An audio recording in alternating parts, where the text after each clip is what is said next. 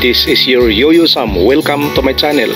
To all subscribers and non-subscribers, you are very much welcome. If you have any comment, just go to the comment section of my channel and thank you very much. Come on, let's go. Let's bolt in.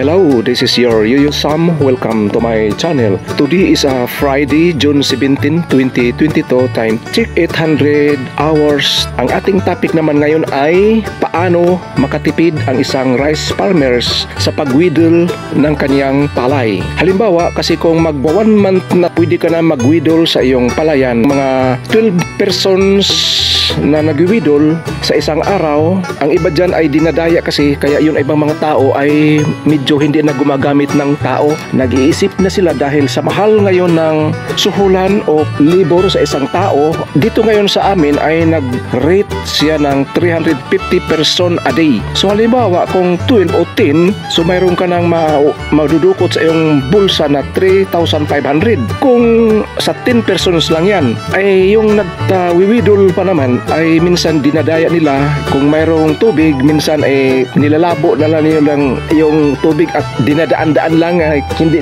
talaga binubunot ang isang unwanted grass sa iyong palayan. Kaya pag kinaumagahan pag luminaw na yung tubig makikita mo na uh, yung mga damo o mga unwanted grass ay nakatayo pa at hindi nabubunot. Yun ang hinanakit sa mga rice farmers dito sa amin. Kasi yung iba hindi na talaga yun sila ang mga totoong mga farm work worker ang nagwidol dito mga bata na. Yung ibang mga matatanda na ay hindi na sila nagatrabaho dito sa palayan yung mga bata na lang. Kaya yun ang dahilan na minsan yung rice owners ay nayayamot at nagmamaktol dahil sa mga ginagawa ng ganyan. Kaya humahanap sila ng paraan upang makatipid.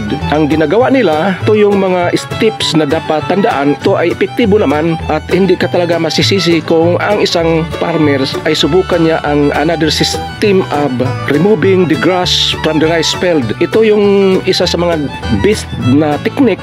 Kailangan mo muna siya yung palay ay yung rice paddy ay wag mo munang lagyan ng tubig. Do not flood with water. Drain the water in your area. Antayin mo na tuyo na siya. Doon ka na mag-spray ng Almix ginagamit yan sa mga damo sa iyong palayan ay tumubo na. Pero kung almix lang hindi rin maganda. Kailangan mayroon siyang kombinasyon sa 2,4-D herbicide. Yung 2,4-D at almix maganda siyang kombinasyon. Kung ipaghalo-halo mo yan isang takip ng 2,4-D at isang sachet ng almix good for one tank of sprayer yun ang gagamitin mo. I-spray mo yan siya. Pagkatapos niyan pag-spray makikita mo yung mga damo ay namamatay. Pero huwag mo na siyang patubigan ng within in 5 days upang ang mga damo na yan ay na talagang namamatay na pag mayroon naman siyang tubig ay nalalanta na siya. Ang 2,4-D kasi na herbicide ay mayroon siyang halo na pag gagamitin mo yan siya sa iyong palayan, iyong rice plant hindi siya nanguluntoy, nabubuhay siya dahil mayroon siyang ibang ingredients na ginagamit. Kaya yun ang mas maganda na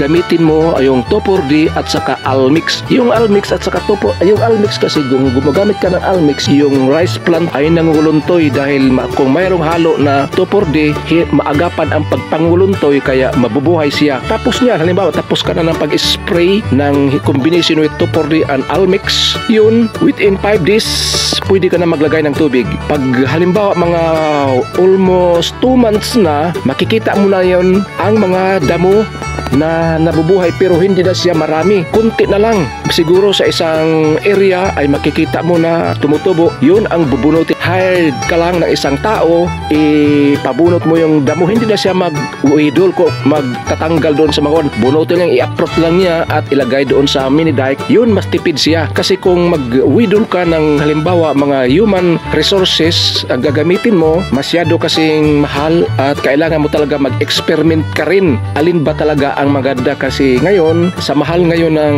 rate sa isang tao kaya maghanap ka ng alternative way of removing the grass with a chemicals component like a toporde and almix. Yun lang ang gamitin mo kasi yung almix naman pag sumibol na yung mga damo-damo, yun na ang oras na pag-spray kasi yung sa hindi pa nakapagsibol, gumagamit ka rin ng machete herbicide pero yun yun sa mga hindi pa nakasi, nakasibol yung mga kuwan pa lang yung mga seeds ng mga damo ang pwedeng masugpo ng machete pero pag nakasibol na hindi na kailangan na talaga ng mag-change ka na ng another level of removing the grass like almix with a combination of 2,4-D herbicide. Mas maganda yan eh try nyo lang pero hindi ko sinasabi na ito ang kwan kasi mas maganda ang mag-experiment ng mga technique kaysa mag manatili ka sa old school days na technique. Ito kasi yung dito ang nakikita namin sa dito sa aming rice farmers, yung mga rice owners, ito ang ginagamit nila dahil tipid kumpara sa tao. Hindi ka makaubos ng isang litro na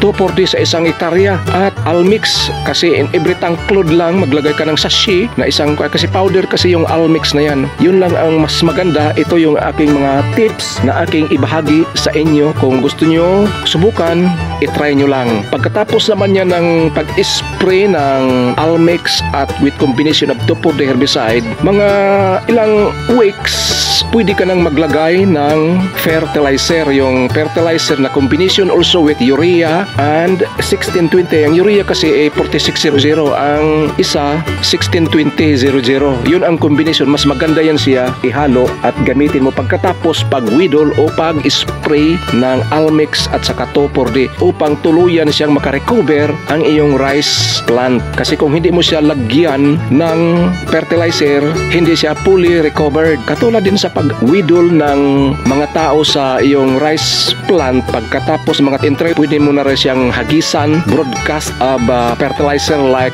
urea 46 and 1620 also with a combination of the two fertilizer chemical fertilizer. Yun ang gagamitin upang makarecover ang iyong mga palayan pagkatapos ng pag-widol ng grasses. So this is your Yuyu Sam. See you on my next vlog. And don't forget to subscribe and like and share it to your friends or pal. See you and God bless us all